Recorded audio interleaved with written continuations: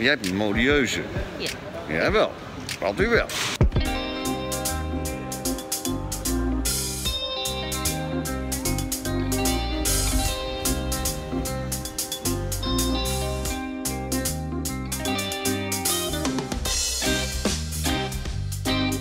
Ja, zo gingen wij met die mondkapjes op het vliegtuig in.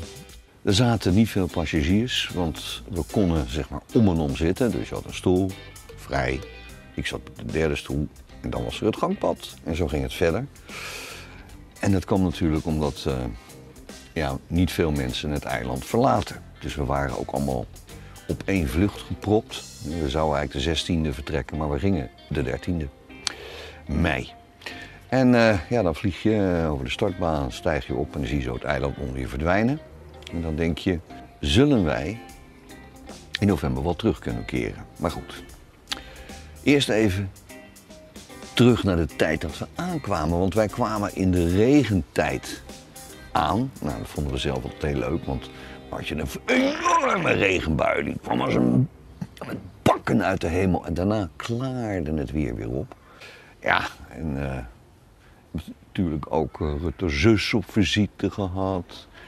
En eh, nou ja, toen werd het kerstmis. Dat was ontzettend gezellig op het park natuurlijk. Met barbecues en feestjes eigenlijk. En ja, toen kwam mijn broer ook.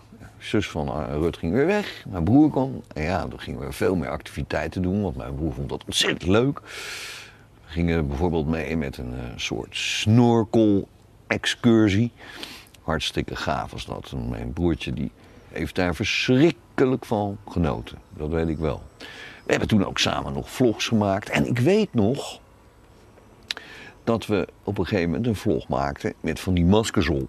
Die, zeg maar, snorkelmaskers. En dat ging over corona. Wij hadden daar over gelezen en dat was toen nog een Chinese aangelegenheid. Maar niet wetende natuurlijk, mijn broer vertrok. En het was al in Nederland geland, maar nog niet op Curaçao. Mijn broer ging weg.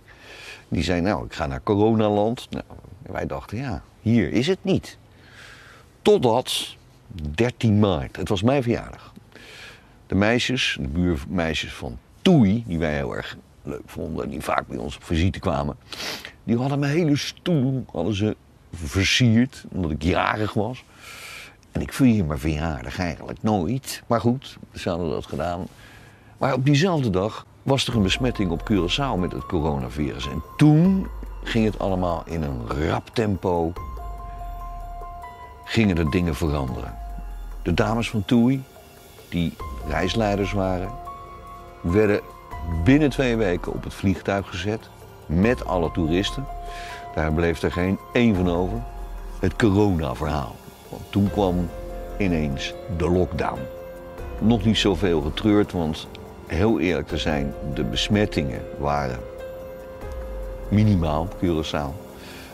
En uh, we gingen gewoon twee keer per week naar de supermarkt. En uh, nou, eigenlijk was corona nog een ontzettend ver afgelegen land. Nederland.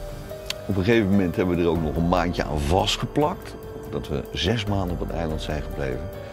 En omdat we dachten, nou dat corona, dat gaat dan wel over.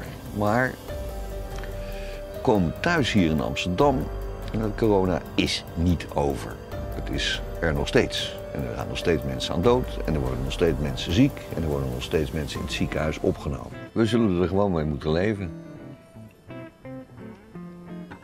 Maar het weer is goed. Amsterdam kleurt gelijk weer leuker.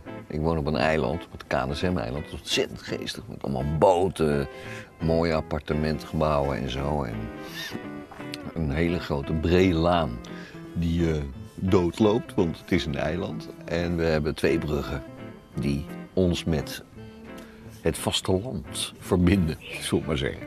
Nou, genoeg hierover. Ik ga er weer lekker van genieten hier in Amsterdam. We spreken!